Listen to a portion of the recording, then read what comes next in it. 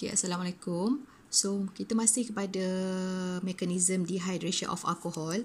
Okay, tapi kali ni saya nak tunjukkan uh, mekanisme yang involve rearrangement. Okay, so kita nak tengok macam mana kalau ada rearrangement. Okay, contoh saya menggunakan 2,2 dimethyl propanol reactkan dengan concentrated H2SO4.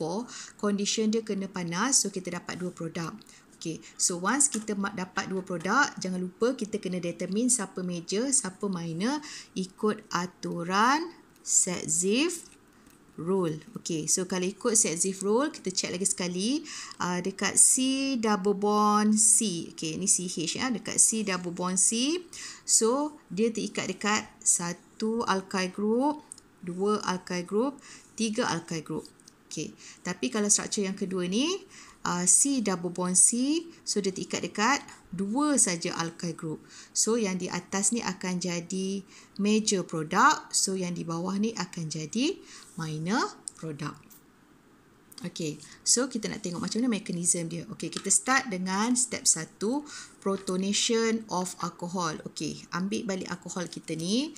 So, saya salin je dulu. Kita ada CH3, C, uh, CH3, CH3, uh, CH2, OH. Okey, tindak balas dengan concentrated H2SO4, HO, SO3H. Okey, mekanisme dia ingat arrow kita daripada nucleophile. Okey, O ni sebab dia lone pair so dia nucleophile attack H. Okey, protonation dia ambil H.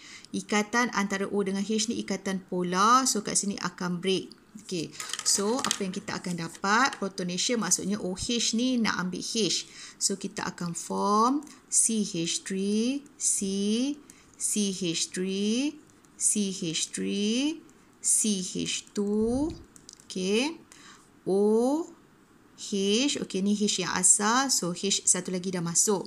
Dan dia akan dapat side product kita adalah HSO4, minus. So kita dah dapat dah protonation of alcohol kita ni.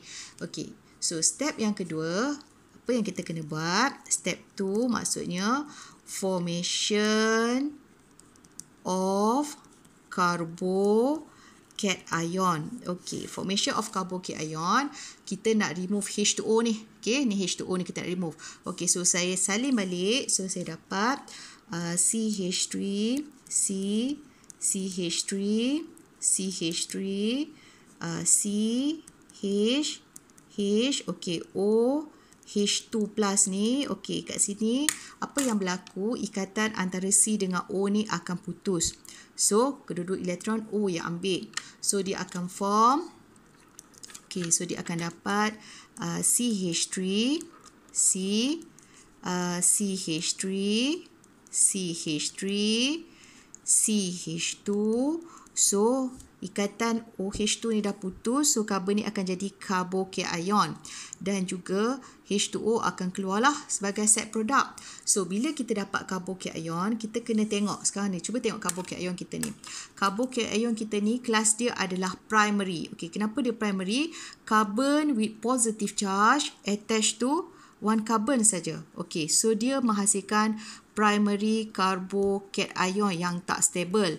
Okay, so kalau kita ingat balik pada stability of carbocation, okay, stability of carbocation, kalau kita ingat balik, tertiary lebih stable daripada secondary, secondary ni lebih stable daripada primary. Okay, jadi kita kena fikir, boleh tak dia buat rearrangement to form tertiary carbocation? So, jawapannya boleh.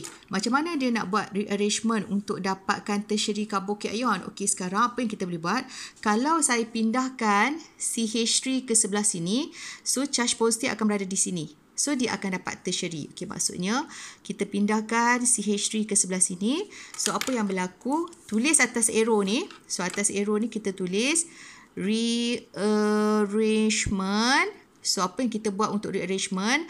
tulis 1 2 so kita boleh uh, shift dua dua jenis. Sama ada kita shift methyl ataupun kita nak shift hydride. Depends lah kepada uh, compound kita ni. So ke dalam contoh kes kita ni kita perlu shift CH3 ke sini. So charge positif dia macam tukar tempat. Charge positif akan ke sini. So kita tulis kat sini. One, two, methyl shift. Lagi satu korang boleh shiftkan hydride ikut pada contoh compound. Ha? Okay, so apa yang kita dapat bila saya dah uh, methyl shift? So, saya akan dapat CH3, C, CH3.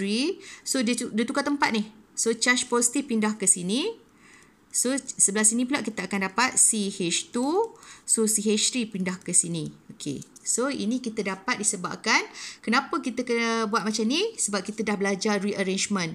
Kita buat rearrangement to form tertiary carbocation yang paling stable. Okay. Yang ini kita hanya perlu buat kalau kita boleh dapat tertiary carbocation. Okay. So next, dah dapat tertiary carbocation, baru kita pergi kepada step yang ketiga. Saya salin balik. Okay, step yang ketiga, kita nak formation of alkene. So apa kita nak buat? Kita nak deprotonation. Okay, kita nak buang hidrogen yang berjiran dengan carbocation. So saya salin balik. Jiran dia sama ada carbon ni atau carbon ni. Okay. So, saya salin balik. So, saya ada CH3. Okay. So, ni jiran kepada C kita ni. Ini yang penting. Hidrogen yang berjiran. Ha? CH3. Okay. Lepas tu, C. Okay. Saya, saya pusing je. Ya? Saya pusingkan yang ni. Saya letak CH2. Saya nak letak CH3 di hujung. Boleh ya? Okay, tak ada masalah. Kita boleh pindah-pindah. Okay. So, ambil balik nukleofil kita tadi. HSO4 minus ni. Okay, ambil balik dia dengan HSO4 minus. Okey, kita ada dua kebarangkalian. Dia boleh singkirkan hidrogen yang berjiran. Kalaulah dia singkirkan hidrogen yang di sini, maka ikatan ni bagi balik untuk form double bond. So, kita akan dapat satu produk kita adalah, okey, yang pertama kita dapat CH3, C, CH3, double bond, CH, CH3. Ini satu produk. Okey, dan lagi satu produk kita, kalaulah dia singkirkan hidrogen ini, ingat ah, arrow kita daripada nucleophile. Dalam kes kita ni ni nucleophile sebab ada charge negatif. Okey, arrow kita daripada nucleophile attack proton H+. Okey, H lah kita nak buang H.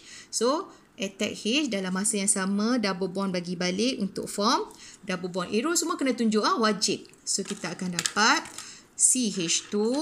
So kita akan form CH2. So double bond akan ada di sini lah. Okay. Double bond.